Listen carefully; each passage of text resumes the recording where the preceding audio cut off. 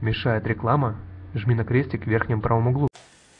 Мы здесь все тусуемся для того, чтобы преуспеть.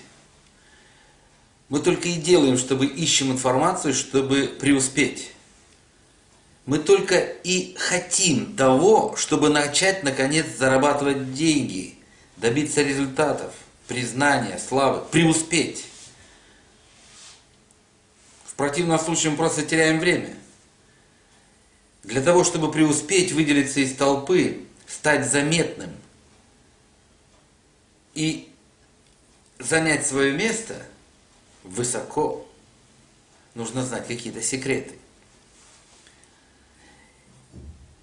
Секреты написаны тысячи лет назад. Ничего нового под луной нету на этой земле.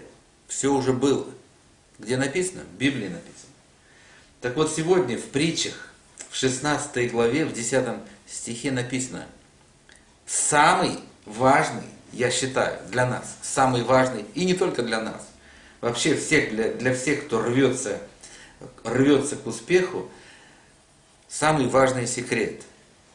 Написано, слово в устах царя, написано, в устах, написано, повторяю, в устах царя слово вдохновенное. В устах царя слово вдохновенное. В устах царя слово вдохновенное. Что это значит? Вдохновенное – это значит наполненное вдохновением, силой, энергией, творческим подъемом, зарядом, мощью, повышенной мотивацией, влияющей на людей, на судьбу людей. Кто такой царь по нынешним меркам? Лидер – Маленький царь, больше, больше, больше, больше, больше, больше. Что мы делаем? Мы приводим в бизнес людей. Наш бизнес из людей. Чем больше людей, тем больше успех. Чем больше людей, тем больше ты лидер. Чем больше ты лидер, тем больше за тобой людей. Чем больше за тобой людей, тем больше у тебя чек. Тем больше ты несешь ответственности, тем больше ты имеешь возможность влиять на других людей, на их судьбы. Помогать им.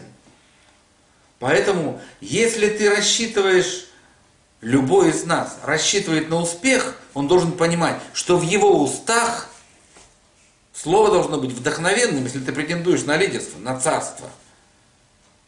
В устах царя слово вдохновенное. И если что-то у человека не получается, то надо посмотреть, какое слово в устах.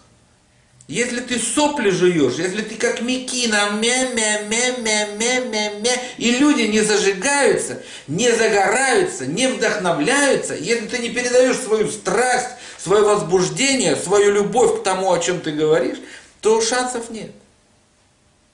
Это не означает, что надо быть оратором. Это не означает, что надо быть публичным выступальщиком. Нет.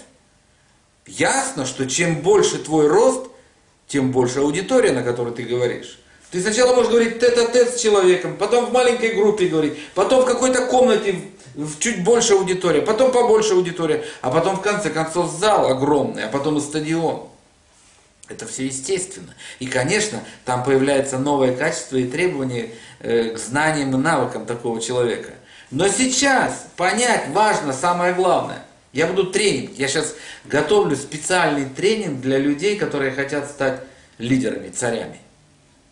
Потому что мой весь секрет моего успеха состоит в том, что я вдруг, благодаря вот этой книге, которая называется Библия, вот она, благодаря ей и Богу, который написал, я вдруг понял, что если я начну со страстью, не искусственно выдавливая из себя какую-то энергию,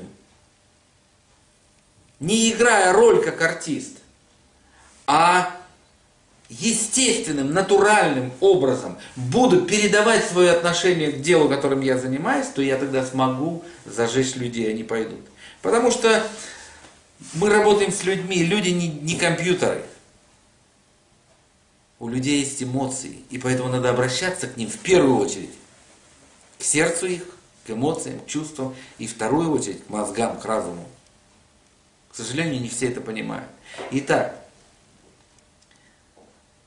секрет, суперсекрет в устах царя слово вдохновенное.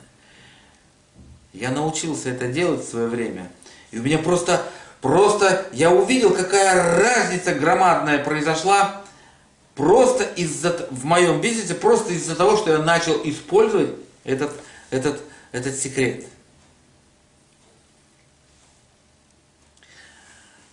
В Америке, в Лос-Анджелесе проходила большая конференция, огромная, на десятки тысяч людей. Собрались дистрибьюторы со всего мира. Огромная миллиардная компания сетевая проводит свой ежегодный слет, сбор. И выступать дают право только самым крутым, тем, у кого в устах слово вдохновенное, кто добился просто запредельных результатов, которые выходят за рамки понимания. И вышла одна. Есть монстры такие, ветераны, которые профессионально, профессионально делают свою работу и, конечно же, классно, профессионально выступают в том числе. И вышла одна китаянка, молодая девушка, китаянка, которая толком языка не знает местного. Она живет на нелегальном положении в Америке. На нелегальном положении. Весь ее бизнес построен в китайских районах. Она построила его, она построила его от человека к человеку, вложив туда такую мощь, такую силу. И вот она вышла выступать. Переводчик и она, молодая девица. И она начала говорить, а переводчик переводить. Она говорит, она говорит со страстью, возбужденно, а переводчик, профессиональный переводчик, вы знаете, как действует. А переводчик не, не, не догоняет. И знаете, что она сделала? Она его отодвинула переводчика и начала говорить на китайском языке на 40-тысячную аудиторию безо всякого перевода. Она говорила 10 минут, и зал разразился такими аплодисментами, стоя. Никто не понял ни единого слова. Но в ее речи был такой заряд мощи, силы, такая страсть, такое вдохновение, такое нечто, что весь зал взорвался. Она рассказала о том, что она на нелегальном положении. Она работает здесь незаконно. Она в нужде. И не просто в нужде. И у нее есть цель. И у нее есть мечта.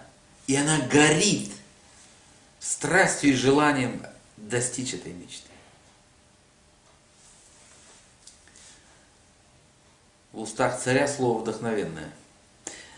Скором времени, совсем скоро, у меня будет возможность в прямом эфире здесь проводить тренинги, и я надеюсь, что это будет один из первых тренингов, которые я буду проводить. Двухчасовой тренинг о том, как сделать так, чтобы в твоих устах слово было вдохновенным.